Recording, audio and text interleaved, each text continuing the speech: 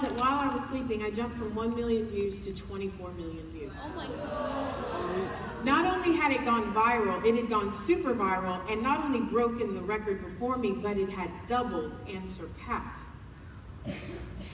I was all of a sudden waking up to being a record holder and a champion.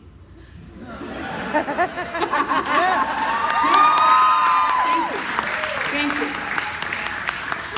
All this athleticism gone to waste. Anyways, uh, don't laugh at that. So, I'm just, I absolutely was flabbergasted, y'all. At this point, I start just returning phone calls, and, and the kids are getting ready, and I look at my husband and I said, hey, babe, can you kind of help with the kids this morning? I gotta return some phone calls, and something kind of came up. Y'all, he still has not seen the video. and he's being awesome super dad because he's taking care of the house and the kids and the dog, right? He's getting himself ready for work. So he's about to leave and take them to school, and I go, hey, babe, so just a quick question. Um, did you happen to check out that video yet? He goes, no, but listen, I'll check it when I get to work. On my first break, I promise. I was like, no, no, no, no, no, no ego wrapped up in this, no. You just check it out when you got a chance. You know, right? I'm like, I never get these moments to like get him. So I was just kind of playing it up. So I'm like, no, babe, it's fine, it's fine, it's fine, just wait a minute. He walks into his work and he hears my laugh on three different computers. he now is thinking that I played a prank on him at work and sent like this funny video to his coworkers. And he goes, what did she do? How did she get y'all's emails? And they're like, who? Like, that's my wife. And they go, this is your wife? and he was like, hold on just a second. What did you do? I mean, like, that's exactly how the morning went. And I said, well, that video, it's kind of gone viral, so I need some help. Anyways, um, and I've been talking to BBC and Fox News and CNN and Good Morning America called. Um, and he goes, are you kidding me? I said, no. I wish I was. so, that, that day progressed on with like all these people wanting to call and reach out to this new lady a stay-at-home mom in Texas that had a funny video that was sharing this laugh with the world. At about 11 o'clock, I realized I've only had one cup of coffee and I'm starting to get nauseous and my day is getting away from me. And so I turn off everything that has a ding and a notification or a little sound, right? I like went to every computer in the house and like my iPhone stuff, just turned it off. And this was the first time that I talked to God about what would happen. And I remember going into my kitchen and I had everything in my mind. Y'all ever like have a conversation with God in your mind already built up? And you're just ready to like say the best prayer in the whole entire universe of your life that you've ever said, and you're like, this is glory, hallelujah, mountain moment. Right? I was about to have one of those with God, and instead all I could say was thank you. Over and over and over again for an hour. Through tears on my kitchen floor, just crying my eyes out, saying, Thank you, God. Thank you, God. Thank you, God. Thank you, God. Thank you, God.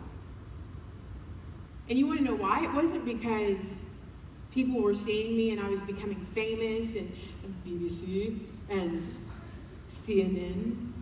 Truth be known, I've never even like read or watched anything. They do. So, um, I'm, I'm a cool mom. I watch Teletubbies still. Anyways, you're like, that disqualifies you. I know. Try to appease me with that. Anyway, so I, I absolutely spent that time just crying out and saying thank you. And you want to know why? It's because when I was your age, or a little bit younger, depending on where you're at in this room, when I was 14, God gave me a dream. A dream that I was made fun of for having. A dream where it was kind of like Joseph and the coat of many colors. Do y'all know what I'm talking about, that story? There's a weird musical you can check out, but it's really kind of not accurate, so don't do it. But the Bible has the story. It's pretty cool. It's in Genesis. Basically, there's this teenager. He has these brothers, and he has this incredible dream that at one point, just like stars, they're going to bow down to him, and he's going to rule over them. And he has this incredible dream that he's going to be and do something great and have authority in his life. As a teenager, he has this dream.